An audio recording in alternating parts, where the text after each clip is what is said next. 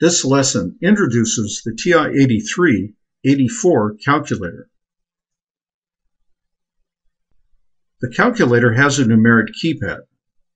There are digits 0 through 9 and a decimal point and a minus sign.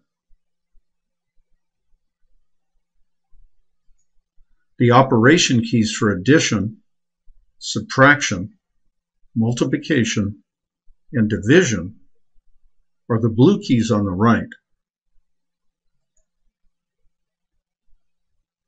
Press Enter when you want to terminate an entry and tell the calculator to evaluate an expression.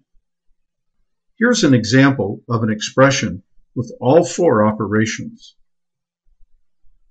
Here's an example of an expression with decimal points.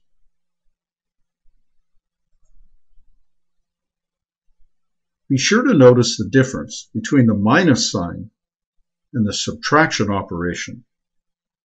For example, here is the expression 12 minus negative 3. You can clearly see the difference between the subtraction operation and the minus sign.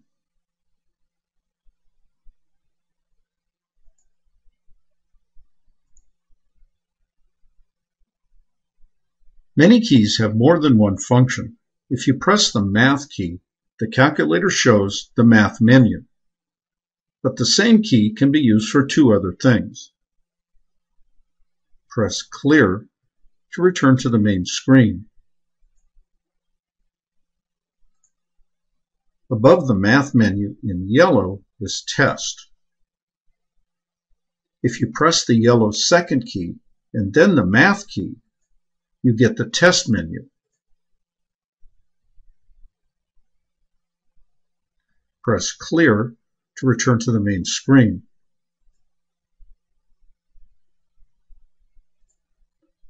Above the math key in green is the capital letter A.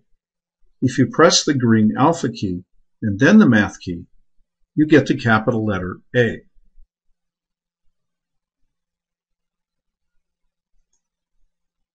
So the math key can be used to show the math menu, the test menu, or the capital letter A.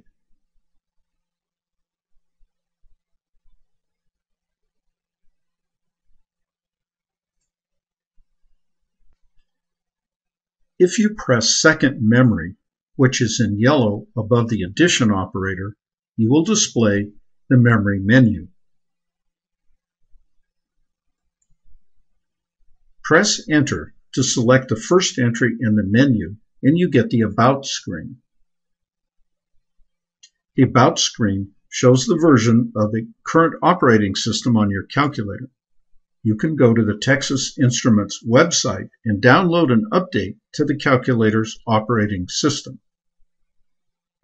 Also, the About screen shows an ID code for the calculator. Write this down somewhere. This ID code cannot be changed, so you can use this code to prove this is your calculator. Finally, the About screen shows the address of the Texas Instruments website, education.ti.com, where you can download applications and learn more about your calculator. Press Clear to return to the main screen.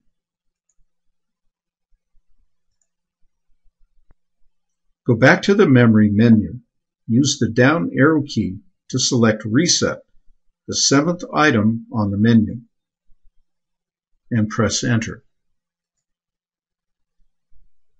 The calculator shows the Reset Memory screen. It has three submenus. The first is the RAM submenu. You can use the right arrow key to display the Archive submenu and the All submenu. Do not use either of these menu items unless you understand exactly what they do. Now, use the left arrow key to go back to the RAM submenu. Press Enter to select Reset All RAM.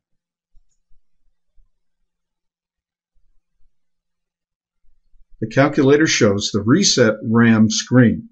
Use the down arrow key to confirm that you want to reset all RAM. Then press Enter. The RAM cleared message appears on the screen. The random access memory of your calculator is cleared and all the options are reset. When your calculator does not seem to be running correctly, reset RAM. This will often solve the problem.